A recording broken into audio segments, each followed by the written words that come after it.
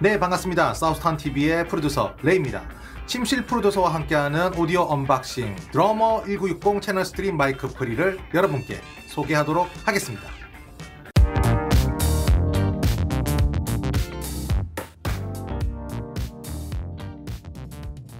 Drawmer 1960의 특징은 역시나 two채널 channel strip 형태의 마이크 pre란 겁니다. 두 명의 아티스트가 연주하는 음악을 동시에 녹음할 수 있기에 더욱더 음악적인 장비라고 볼 수 있죠.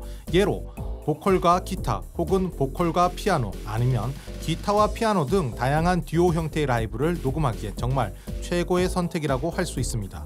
그리고 1960은 독특하게 기타나 베이스 입력이 가능한 자체 EQ와 preamp를 따로 가지고 있습니다. 베이스, treble, gain까지 기타 앰프의 사운드 그대로 가져오고 있는데 1960의 comp와 함께 동작하면서 정말 멋지고 기름진 소리를 입력시켜 줍니다. 자 그리고 컴프레서는 역시 two 채널이니만큼 따로 동작할 수 있도록 두 개가 따로 제작되어 있습니다. 그리고 1960이 자랑하는 auto release 기능은 정말 사운드와 숨쉬듯 밀당하는 사운드. 아 정말 기가 막힙니다. 80년대 마돈나와 에릭 클랩튼의 숨쉬듯한 사운드가 바로 이 1960이란 사실. 알고 계신가? 모르겠습니다. 그리고 VU 메터도 떡하니 자리 잡고 있습니다. 역시 당연히 gain reduction을 선택해서 볼 수도 있고요. 충분한 볼륨감을 확보하는 마이크 gain도 있습니다. 사실 이 마이크 gain도 굉장히 단단한 소리를 받아들이는데 큰 일조를 하고 있죠 실제로 뮤지션 출신인 Drawmer 제작자가 LA2A를 만든 Teletronix에서 엔지니어로 일하면서 정말 단물만 쪽쪽 빼서 만든 명기라는데 이견은 없을 것 같습니다. 자, 이 정도면 거의 어쿠스틱 듀오 녹음 정도는 간단한 뭐 기타나 보컬 혹은 보컬과 피아노 뭐 요 정도의 어떤 사운드 녹음이라면은 그냥 녹음 버튼만 딱 눌러도 문제가 해결될 것 같은 그런 느낌마저 듭니다. 정숙한 노이즈 제어와 확실한 크기의 볼륨 그리고 힘있는 단단한 소리를 만드는 컴프레서 한 번에 두 가지 다른 느낌으로 녹음할 수 있는 이 Drawmer 1960 Drawmer 1960의 소리가 궁금하지 않으신가요? 그래서 오디오 테스트를 준비했습니다. 자 이번 오디오 테스트를 위해서 가수 에스텔 여자 보컬이죠? 어, 명덕네거리라는 노래와 그리고 또 뭐 쇼미더머니 나왔던 정상수 씨의 피처링으로 좀 유명세를 타셨던 분인데 어, 그런 에스텔과 그리고 기타리스트 이호섭의 연주를 들어보도록 하겠습니다. 아무래도 Drawmer 1960의 특징이라고 할 수 있는 중저역대의 따뜻한 느낌을 들려주기 위해서 여성 보컬리스트의 목소리를 준비했고요. 그리고 또 튜브 컴프레서잖아요. 그래서 이 튜브의 어떤 아날로그함을 가장 잘 들려줄 수 있다고 느껴지는 기타, 어쿠스틱 기타 사운드를 한번 녹음을 해서 여러분들께 들려드리도록 하겠습니다. 자, 그럼 한번 만나 보시죠.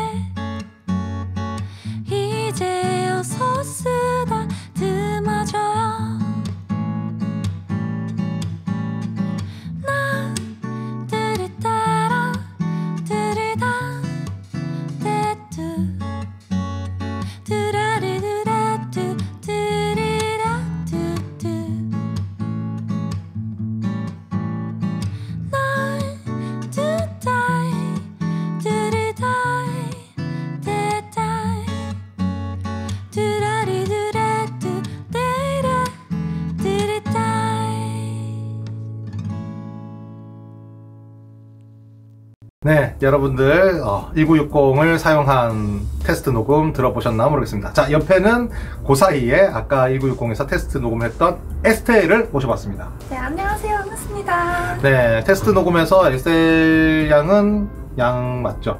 네, 예, 아니죠. 군은 아니죠. 네, 그렇죠. 네, 어쨌든 성별을 확실하게. 네, 에스텔이 불렀던 노래는 제목이 네, 너의 하루가 궁금해라는 곡이고요. 음. 제 정규 앨범에 수록될 곡인데 아직은 이제 발매를 하지 않은 곡인데 미발표 곡. 네, 아직, 미발표곡인데 음. 첫 번째로 이제 특별히 네, 들려드렸습니다. 오케이 좋습니다. 굉장히 좀 감수성 있는 노래였는데 약간 1960의 사운드를 느끼기 좋은 담백한 느낌의 곡이 아니었나 약간 포크하기도 하고 그쵸 네. 그런 곡이었습니다. 자 그러면은 어, 보컬리스트가 보컬이 직접 들었 아 우리 들어봤어요 그쵸 보컬이 들었을 때 그 1960의 어떤 매력 어떤 게 있을까요? 일단 굉장히 부드럽게 소리가 들어갔고요. 음? 생각보다 부드럽게 들어갔고 저음도 많이 들어갔어요. 네네네. 제 목소리 같은 경우에 저는 개인적으로는 음. 이제 저음이 많이 없다고 생각하는데 음. 어, 그 점들을 보완해서 제 목소리를 이렇게 녹음이, 녹음이 된 느낌이랄까요? 음, 맞아요, 맞아요. 네. 약간 확실히 그런 느낌들이 있었고, 어, 일단은 저도 이제 약간 화사한 소리를 내는 어떤 보컬들에게 단점이라면은 약간 아쉬운 점이 있을 거예요. 그러니까 여기 단단 중저역대에 단단한 소리가 좀 있었으면 나왔으면 해서 많이들 이제 compressing을 한다든지 이퀄라이저로 소리를 만드는데 어 여기서 이제 공을 컴프레서를 살짝만 걸어서 했는데도 불구하고도 단단한 소리가 밑단이 딱 걸린다 음, 음. 그러거든요. 그런 표현을 이렇게 걸려서 나오니까 너무 듣기 좋았고 아 이런 보컬 이 보컬에게 이런 좋은 소리가 아래에서 있었구나라는 어떤 그런 느낌도 받았던 것 같습니다. 어, 또 남자 보컬들이 하면 또 어떨까요? 그러니까 저도 녹음하면서 남성 보컬이 있으면 어떤 느낌일지 되게 궁금하더라고요. 음. 또 여자와는 또 다른 느낌일 것 같아요. 이제. 네, 맞아요. 뭐, 말 그대로 이제 약간 좀 중저역대가 더 튀어나온다는 느낌은 아니에요. 말 그대로 숨어있던 것들이 더 나오고 밀도감 있게 느껴지게 만들어주는 어떤 재능이 있는 제품이기 때문에 어, 남자분들은 확실히 중저역이 좋잖아요. 좋으니까 거기에 있는 캐릭터가 더 두드러지게 나오지 않을까. 아, 그럼 중저역 캐릭터 좋은 보컬들이 누구 있을까? 갑자기 생각이 안 나는데 남자 우리나라로 치면은 글쎄요. 어... 박효신? 박효신, 어, 박효신 좋다. 네, 박효신, 네. 좋, 좋네요. 너무 네. 좋다. 박효신 씨는 뭐, 그냥 마이크 pre 아- 없이 불러도 좋을 것 아무거나 같은데. 해도 다 좋을 아, 다. 좋을 것 같은데. 네. 어쨌든 더 좋을 것 같아요. 어, 굉장히 둔- 단단하게 아랫단을 만들어 줄 것 같고. 그리고 여자 보컬 같은 경우에는 대표적으로 어떤 느낌이 좋을 것 같아요? 어, 우리나라 가수 말고도 음. 이제 팝 가수로는 어, 아델이 저는 가장 먼저 생각이 났어요. 아 맞아요 아델 네. 모 씨의 목소리 어, 정말 좋죠 네, 네. 그런데 확실하게 어떤 그런 어, 보컬들이 있을 때 좀 단단한 느낌을 줘서 힘을 좀 과도하지 않으면서 확실하게 뚜렷하게 캐릭터를 만들어주는 것 같아요 네.